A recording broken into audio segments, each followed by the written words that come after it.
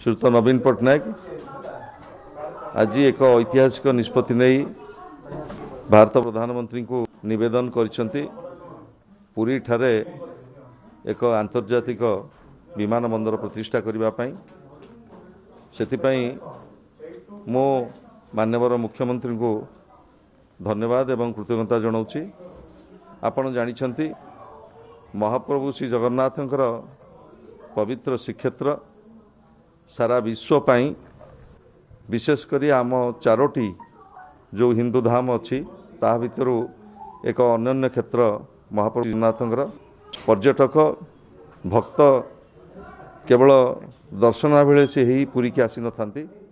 ପୁରୀର ଅନତି ଦୂରରେ ବିଶ୍ୱ ଐତିହ୍ୟର ଅନ୍ୟତମ କୀର୍ତ୍ତିରାଜି ମନ୍ଦିର ଏବଂ ପୁରୀଠାରୁ ଅନତି ଦୂରରେ ବିଶ୍ୱର ଏସିଆ ମହାଦେଶର ସର୍ବବୃହତ ଖାର ହ୍ରଦ ଚିଲିକା ଏବଂ ବିଶେଷ କରି ଶହେ ବତିଶ କିଲୋମିଟର ବେଳାଭୂମି ଭୂମି ବିଶ୍ୱର ପର୍ଯ୍ୟଟକ ଆକୃଷ୍ଟ ହୋଇ ଆସିଥାନ୍ତି ପୁରୀକି। ପୁରୀର ସ୍ୱର୍ଣ୍ଣାଭ ବେଳାଭୂମି ପରିବେଶ ଏବଂ ପର୍ଯ୍ୟଟନ ପାଇଁ ମଧ୍ୟ ଏକ ବିରାଟ ସମ୍ଭାବନା ସୁଯୋଗ ରହିଛି ଏବଂ ବିଶେଷ କରି ମହାପ୍ରଭୁ ଶ୍ରୀ ଜଗନ୍ନାଥଙ୍କର ଆରାଧ୍ୟପୀଠ ଶ୍ରୀକ୍ଷେତ୍ରକୁ ଲାଗି କୋଣାର୍କ ବାଲିହରଚଣ୍ଡୀ ରାମଚଣ୍ଡୀ ଏବଂ ପ୍ରଭୁ ଅଲାରନାଥଙ୍କ ପୀଠ ମା କାଳିଜାଙ୍କଠୁ ଆରମ୍ଭ କରି ଶିରୁଳି ମହାବୀର ପର୍ଯ୍ୟନ୍ତ ବହୁ ଆଧ୍ୟାତ୍ମିକ କ୍ଷେତ୍ର ଭରି ରହିଛି ପୁରୀ ଶ୍ରୀକ୍ଷେତ୍ରକୁ। ତେଣୁ ଏଭଳି ଏକ ଅଞ୍ଚଳକୁ ଏଭଳି ଏକ ପୀଠକୁ ସାରା ବିଶ୍ୱର ପର୍ଯ୍ୟଟକମାନେ ଆସୁଥିବାରୁ ମାନ୍ୟବର ମୁଖ୍ୟମନ୍ତ୍ରୀ ଆଜି ଭାରତନ୍ତି ପୁରୀଠାରେ ଏକ ଆନ୍ତର୍ଜାତୀୟ ବିମାନ ବନ୍ଦର ପ୍ରତିଷ୍ଠା କରିବା ପାଇଁ। ଆମେ ପୁରୀବାସୀଙ୍କ ତରଫରୁ ରାଜ୍ୟବାସୀଙ୍କ ତରଫରୁ ମାନ୍ୟବର ମୁଖ୍ୟମନ୍ତ୍ରୀଙ୍କୁ ଧନ୍ୟବାଦ ଏବଂ କୃତଜ୍ଞତା ଜଣାଉଛି। ପୁଣି ଥରେ ନବୀନ ପଟ୍ଟନାୟକ ତାଙ୍କର ପ୍ରତିବଦ୍ଧତା ପୁରୀବାସୀଙ୍କ ପାଇଁ ଶ୍ରୀକ୍ଷେତ୍ର ପାଇଁ ପୁରୀ ଜିଲ୍ଲା ପାଇଁ ରାଜ୍ୟବାସୀଙ୍କ ପାଇଁ ପୁଣି ଥରେ ନୂଆ ବର୍ଷରେ ତାଙ୍କର ଏଇ ଯେଉଁ ପଦକ୍ଷେପ।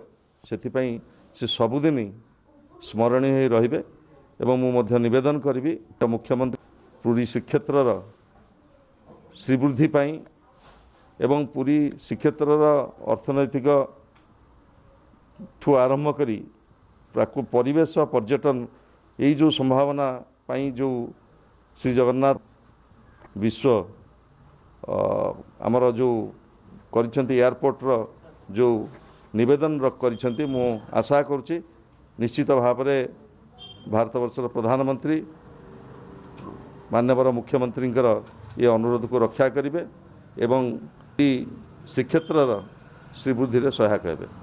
ପୁରୀର ଗୋଟେ ଦୀର୍ଘ ବେଳାଭୂମି ରହିଛି।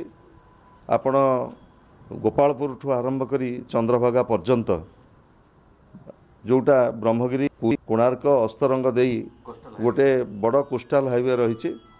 ଏବଂ ପ୍ରଚଣ୍ଡ ସମ୍ଭାବନା ରହିଛି ଏ ଅଞ୍ଚଳର ଏଇ ଯେଉଁ ବେଳାଭୂମିର।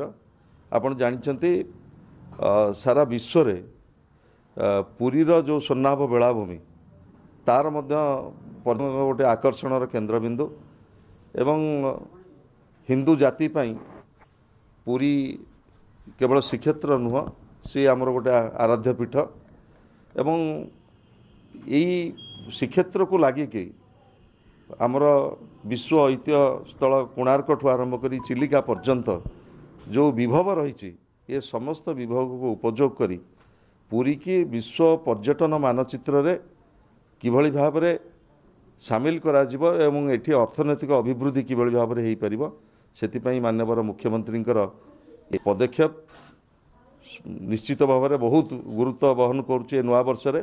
ମୁଁ ଆଶା କରୁଛି ମାନ୍ୟବର ମୁଖ୍ୟମନ୍ତ୍ରୀଙ୍କର ଏ ଅନୁରୋଧକୁ ନିଶ୍ଚିତ ଭାବରେ ପ୍ରଧାନମନ୍ତ୍ରୀ ଦୃଷ୍ଟି ଦେବେ ଏବଂ ରାଜ୍ୟର ଅର୍ଥନୀତିର ତ ନିଶ୍ଚିତ ଭାବରେ ବିକାଶ ହେବ ପୁରୀ ଶ୍ରୀକ୍ଷେତ୍ରର ମଧ୍ୟ ବିକାଶ ହେବ